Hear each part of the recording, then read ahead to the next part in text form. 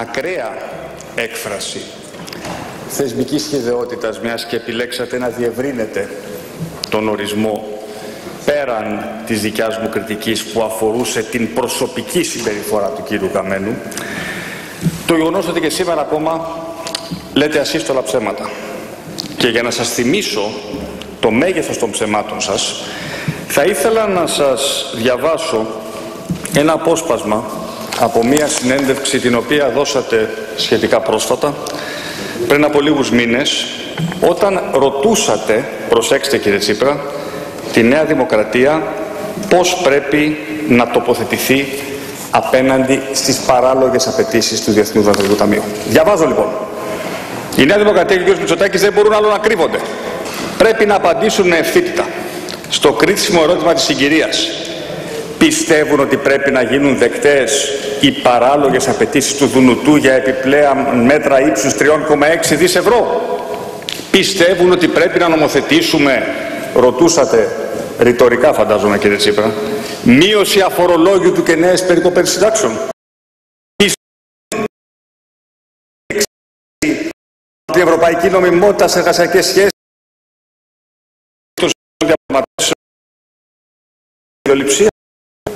επιρρύπτοντας την ευθύνη θεωρεί ότι πρέπει να κάνει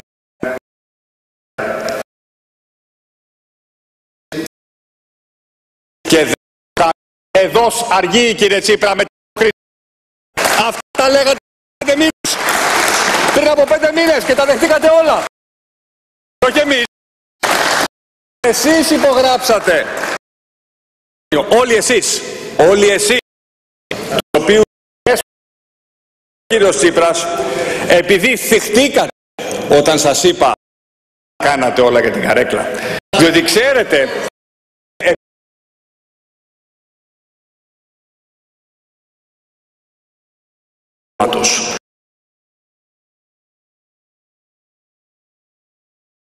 Και δεν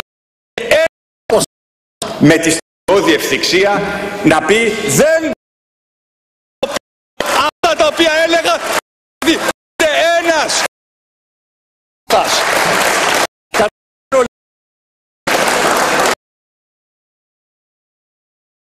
θα βρεθεί γιατί θα υπογράψετε ό,τι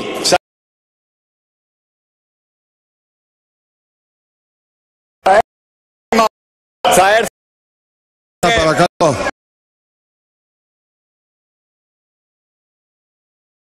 αυτό κύριε Τσίπρα στο τέλος της αγόρευσής μου. Κάντε λίγο λοιπόν για να θυμίσουμε ότι πριν από λίγες εβδομάδες ψηφίσατε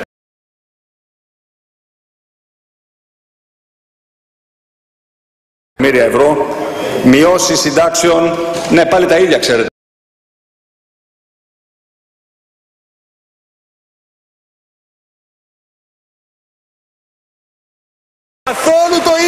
είναι. Για σας είναι το ίδιο, για αυτούς δεν είναι όμως. Κύριε Τσίπρα, όταν λέτε ότι ήσασταν συνεπείς, έρχεστε ότι η οικονομία είναι τόσο καλά και τα επιτόκια χρέωση αποδόσεις μάλλον επειδή υπάρχει μεγαλύτερη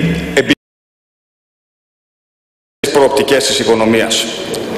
Το ερώτημα που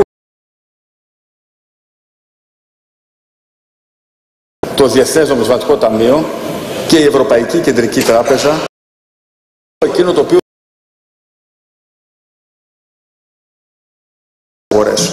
Διότι το δούνο του δεν έκρινε ότι το χρέος είναι βιώσιμο και η Ευρωπαϊκή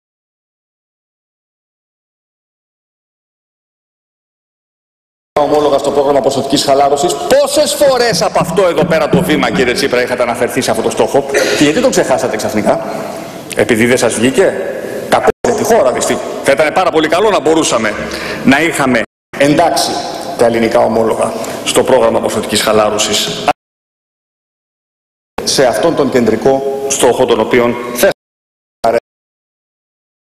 Είναι η ευθύνη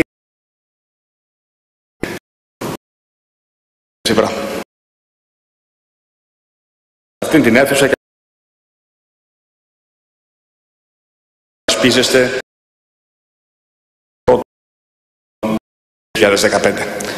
Μετά από όλα αυτά που έχουν υποθεί, μετά από όλα αυτά που έχουμε μάθει, μετά από όλη αυτή την τεράστια καταστροφή,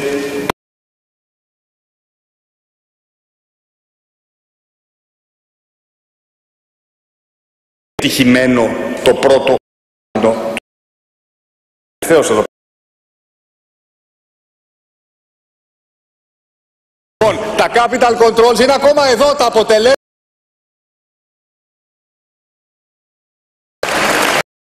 Αποφασίστε λοιπόν. Έχετε δει.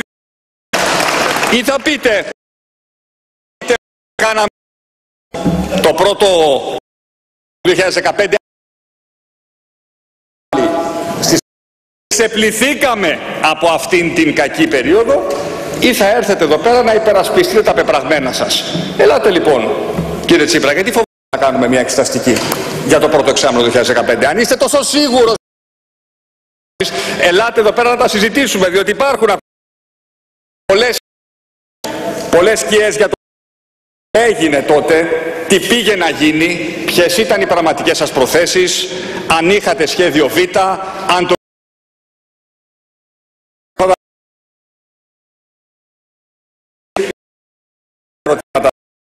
ερωτήματα τα οποία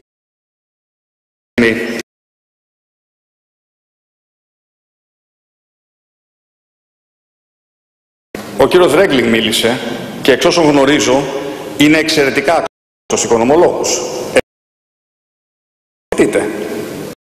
Εκτός αν το αφισβητείτε. Άρα γιατί καταλάβετε εκεί ότι υπάρχει και ένας βαθμός προκατάληψης. Αλλά είναι πραγματικά αδιανόητο κύριε Τσίπρα.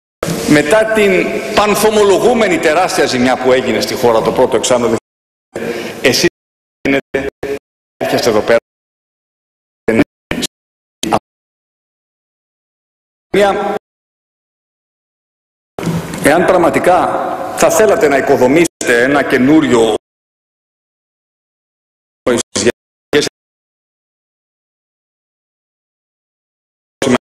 ως απαραίτητο πρώτο βήμα.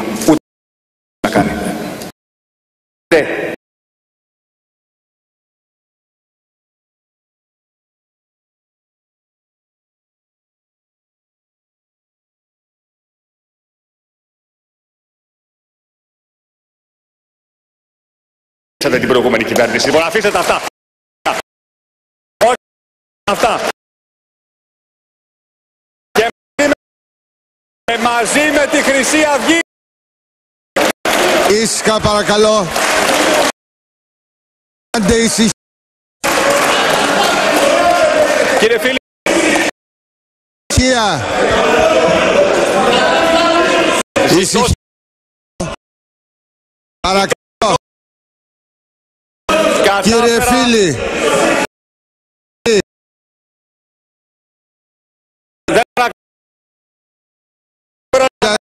τον κύριο Φίλη στην κομματική τάξη. Κύριε Φίλη, παρακαλώ. Ήσυχα. Δεν παίζω κύριε Ξηδάκη. Κύριε Ξηδάκη. Λοιπόν, θα τα πούμε όλα, ξέρετε υπάρχουν και πρακτικά. Ησυχία.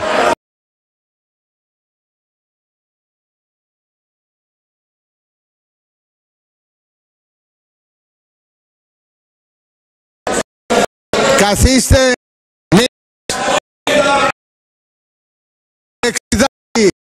Μη με αναγκάζετε και να δουν από τα πρακτικά όλα όσα ακούστηκαν.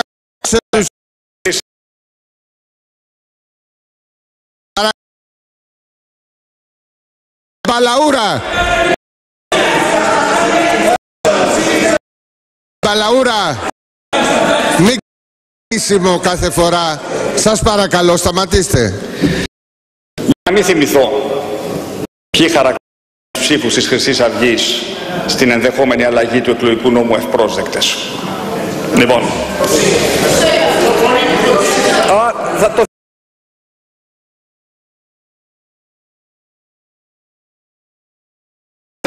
Στη συνέχεια στο πολιτικό Ησυχία. Βάλω.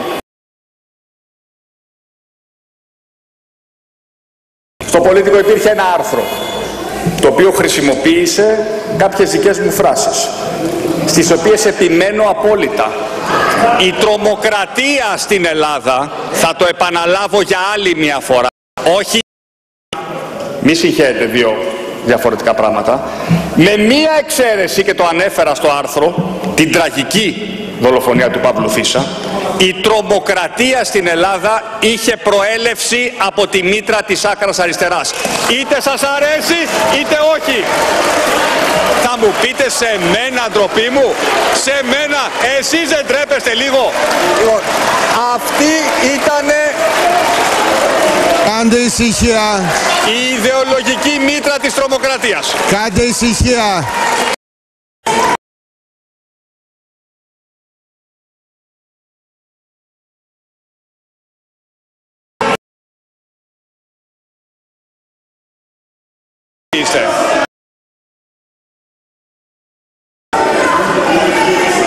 Φωνάζετε κύριε. Παρακαλώ.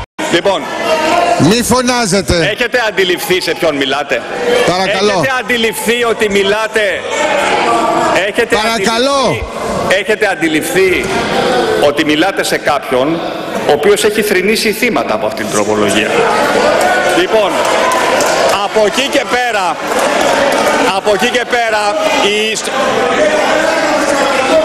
από εκεί και... Μη συνεχίσετε παρακαλώ. Κύριε Σκουρολιάκο. Από εκεί και πέρα Παρακαλώ κύριε η Σκουρολιάκο. ιστορία δεν παραγράφεται. Δυστυχώς, Σταματήστε. κύριε, κύριε Πρόεδρε, ή θα επιβάλλετε... Σταματήστε. Ή θα Προσπαθούμε. σταματήσω. Προσπαθούμε. Επιτρέψτε- Τι να να κάνουμε; προσπαθήσετε περισσότερο. Παρακαλώ. Κάντε τη δουλειά σας. Παρακαλώ κάντε ησυχία.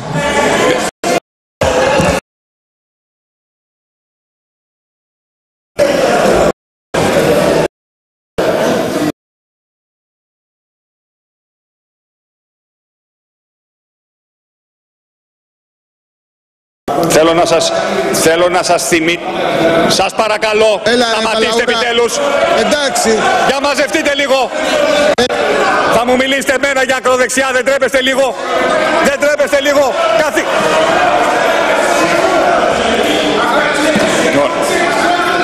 Τώρα θα... Παρακαλώ σταματήστε Λυπάμαι, έτσι. Κύριε Πρόεδρε που για άλλη μια φορά Μην χάσατε διακόπτετε. πλήρως τον έλεγχο της συζήτησης όταν μιλάω εγώ. Λυπάμαι πραγματικά. Και θα έπρεπε να είστε τουλάχιστον πιο αντικειμενικός στα καθήκοντά σας. Δεν συνέβαιναν αυτά όταν μιλούσε ο Πρωθυπουργός.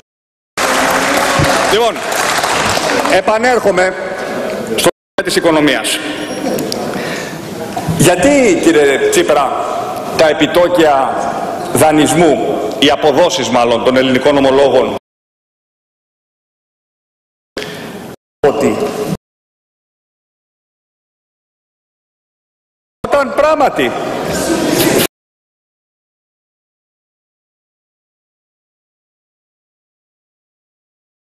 Θα σας το πω. Θα σας απαντήσω εγώ λοιπόν. Ναι, η απάντηση είναι προφανής ότι σήμερα δεν εμπιστεύονται οι ξένοι επενδυτές τη δικιά σας κυβέρνηση όταν μιλάτε για ανάπτυξη και επενδύσεις επειδή έχετε ένα εξαιρετικά βεβαρημένο παρελθόν. Είναι απλά τα πράγματα κύριε Τσίπρα. Ξέρετε δεν μπορείτε να κάνετε μονίμως δεν μπορείτε να κάνετε κύριε Τσίπρα μονίμως στροφές 180 και όχι 360 μοιρών. Εμπιστοσύνη, εμπιστοσύνη που είναι η μαγική λέξη για να πέσουν επιτέλους οι αποδόσεις των ομολόγων δεν χτίζονται με υπουργούς σας, δεν τον βλέπω και εδώ πέρα, που χαρακτηρίζουν light προσαρμογή. Light προσαρμογή, μέτρα 14 14,5 δισεκατομμύρια ευρώ. Και δέσμε της εκα- εμπιστοσύνη με υπουργούς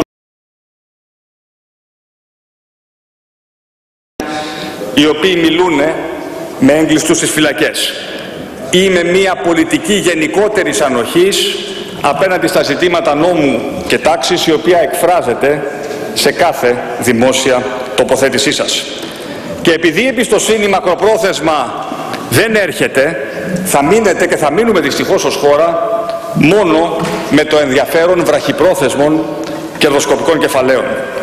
Πράγματι, τέτοια κεφάλαια σε μια ρηχή αγορά μπορούν να μετακινήσουν την καμπύλη των ομολόγων.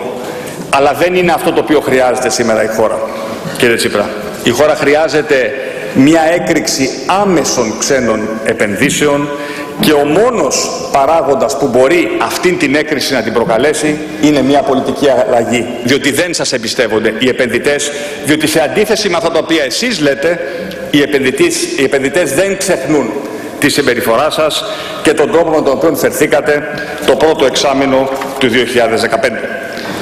Θέλω να δώσω και μία απάντηση, γιατί έχω κουραστεί να το ακούω, στο ζήτημα της πρόσβασης των ανασφάλιστων στην υγεία. Εξακολουθείτε, κύριε Τσίπρα και κύριοι συνάδελφοι του ΣΥΡΙΖΑ, να λέτε ψέμα για το ζήτημα αυτό.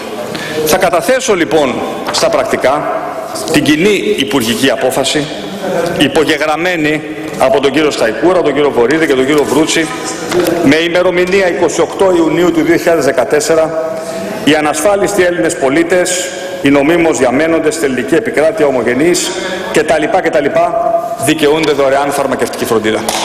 Σταματήστε λοιπόν. Σταματήστε λοιπόν. Κύριε Τσίπρα να λέτε ψέματα. Σταματήστε πια. Σταματήστε να λέτε ψέματα. Παρακαλώ σταματήστε. Παρακαλώ. Σταματήστε. Λοιπόν Αυτή η συζήτηση. Κύριε Γουμενή, παρακαλώ. Αυτή η συζήτηση έχει επαναληφθεί εδώ. Σταματήστε. Έλα. Είναι γνωστά. Έχουμε ένα πρωθυπουργό ο οποίος μονίμως ψάχνει να βρει δικαιολογίες για όλα. Εσείς κύριε Τσίπρα δεν φταίτε ποτέ για τίποτα. Για την αποτυχία στη διαπραγμάτευση φταίει η αντιπολίτευση. Για τα capital controls φταίνε οι κακοί ξένοι και όχι εσείς, ο κύριος Βαρουφάκης και το έγκλημα του δημοψηφίσματος. Για τον ε, εκτροχιασμό του πρώτου εξαμήνου, πάλι αυτό ο κύριος Βαρουφάκης. Λες και δεν τον είχατε διορίσει εσείς. Α, ξέχασα, συγγνώμη. Για την ανομία στα πανεπιστήμια φταίει ότι δεν υπάρχει ένα ρωμαλαίο φοιτητικό κίνημα. Είμαστε σοβαροί κυρίες και κύριοι συνάδελφοι. Πώς τα λέτε αυτά τα πράγματα; Έχετε κάνει λάστιχο το άσυλο και μιλάτε για ρωμαλαίο φοιτητικό κίνημα. Έχετε παραδώσει τα πανεπιστήμια στην ανομία, στο εμπόριο ναρκωτικών. Τα έχετε κάνει κέντρα κατασκευής μολότοφ. Ίσως αυτό εννοείτε κύριε Τσίπρα όταν λέτε ότι υπάρχει καινοτομία στα πανεπιστήμια. Τι πράγματα είναι αυτά; Για τα θύματα, να, να, το, να το θυμηθώ και αυτό, για τα θύματα της εγκληματικότητας φταίει η κακιά στιγμή. Αναλάβετε επιτέλους κύριε Τσίπρα τις ευθύνες σας και σταματήστε να είστε, προθυ... να είστε ένας παρατηρητής της κατάστασης της χώρας. Είστε πρωθυπουργός, λυπάμαι που το λέω, είστε ένας πρωθυπουργός πολύ κατώτερος των περιστάσεων. Έρχομαι τώρα και κλείνω με αυτό, με τα ζητήματα με τα οποία κλείσατε και εσείς τη δευτερολογία σας. Κοιτάξτε, εγώ σας έκανα μια σειρά από πολύ συγκεκριμένα ερωτήματα. Τα επαναλαμβάνω. Γνωρίζατε ότι ο κ. Καμένος συνομιλούσε με έναν Ισοβίτη. Το ρωτώ Θεός, το γνωρίζετε, ναι ή όχι; Περιμένω μια απάντηση. Όχι, πείτε το. Δεν είναι κακό. Διότι εδώ δύο τι να συμβαίνουν. Δύο τι να συμβαίνουν. Παρακαλώ. Ή το Παρακαλώ. Ή το Παρακαλώ. Οπότε έχουμε ανάμειξη σε επίπεδο πρωθυπουργού σε Κύριε μια Γεωργιάδη. υπόθεση άκρος προβληματική ή δεν το γνωρίζατε Κύριε Γεωργιάδη, παρακαλώ. οπότε ο κύριος Καμένος έχει αυτονομηθεί πλήρως και κακώς απολαμβάνει της εμπιστοσύνη σας. Καταλάβετε το κύριε Τσίπρα. Δεν είναι φυσιολογικό. Όσο, να ανοίξω και μια παρέθεση, όσο αγαθές και αν είναι οι προθέσεις κάποιου, να συνομιλεί ένας υπουργός με ένα καταδικασμένο ισοβητή. Το αντιλαμβάνεστε αυτό που λέω, το καταλαβαίνετε. Ε, θέλω να, να σας ρωτήσω αυτό, το καταλαβαίνετε, ότι δεν είναι φυσιολογικό, ότι δεν συμβαίνει σε δημοκρατικές χώρες αυτό το πράγμα. Το αντιλαμβάνεστε ή όχι; Ή σας φαίνεται και αυτό κανονικό; Διότι θα μας τρελάνετε τελείως εδώ πέρα. Έρχεται ένας υπουργός και συνομιλεί 12 φορές με έναν Ισοβίτη.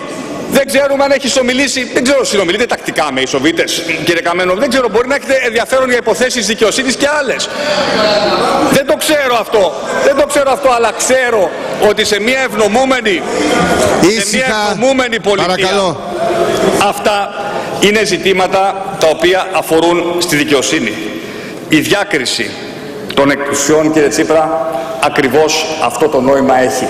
Δεν γίνεται καθ' οποιοδήποτε τρόπο η εκτελεστική εξουσία να παρεμβαίνει σε μια ανοιχτή δικαστική έρευνα. Όποιες και αν είναι όσο αγαθές, να το δεχτώ και αυτό, όσο αγαθές και αν είναι οι προθέσεις αυτού που εμπλέκεται. Αυτά δεν συμβαίνουν σε δημοκρατικές χώρες. Και εν πάση, και εν πάση περιπτώσει, να σου κάνω και μια ερώτηση κύριε Τσίπρα, μπορεί να καταφέρω να εκμεύσω και μια απάντηση από σας σήμερα. Ο κύριος Καμένος μέσα σε μεγάλη συναισθηματική φόρτιση μας ζήτησε να προχωρήσουμε στη σύσταση προανακριτικής επιτροπής. Δεν χρειάζεται να πάμε μέχρι εκεί.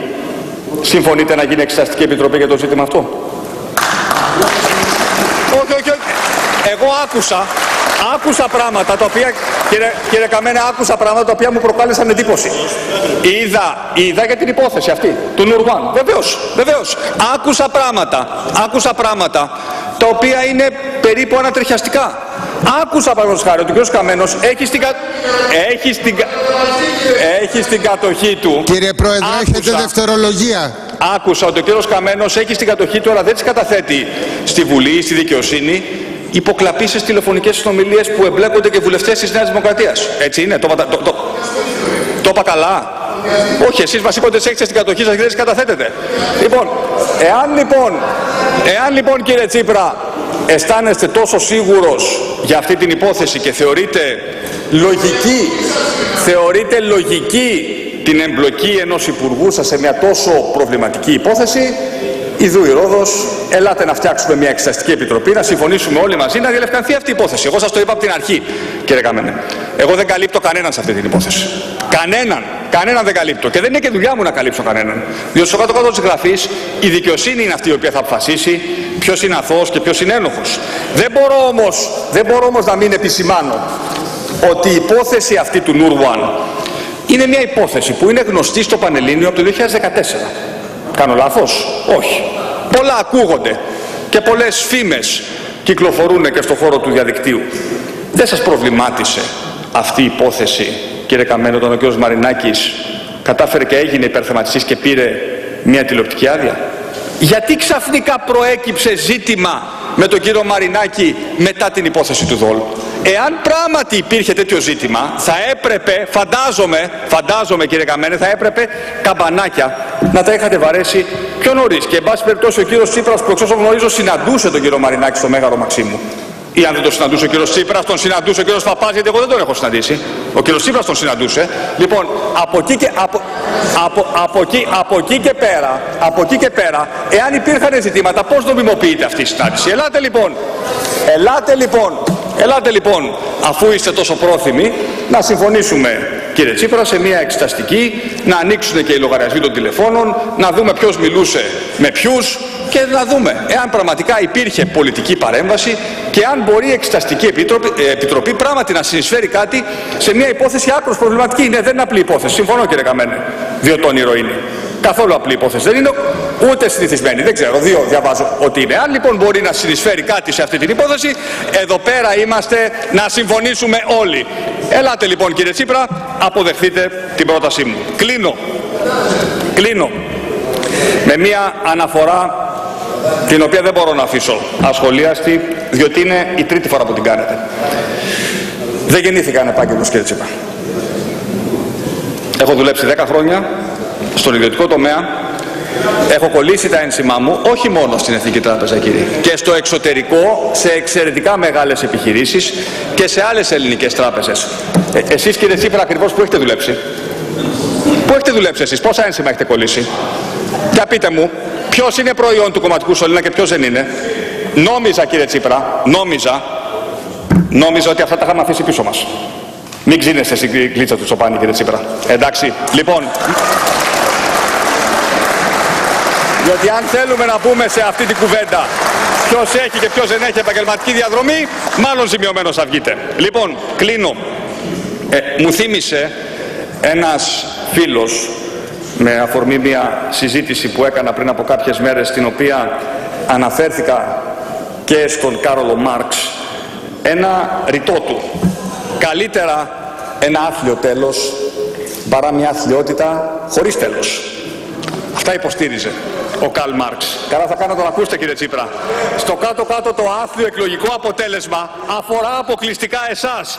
Η χωρίς τέλος όμως αθλειότητα, η οποία χαρακτηρίζει όλο ένα και περισσότερο το δημόσιο λόγο, όχι τόσο τον δικό σας, αλλά σίγουρα των στελεχών σας, αφορά ολόκληρη την ελληνική κοινωνία, τη δημοκρατία, το παρόν και το μέλλον της πατρίδας. Και αυτό κύριε Τσίπρα είναι κάτι που σας ξεπερνά. Η μόνη υπηρεσία την οποία μπορείτε να προσφέρετε στη χώρα είναι μία. Δώστε επιτέλους το λόγο στο λαό, όσο νωρίτερα τόσο το καλύτερο. Σας ευχαριστώ.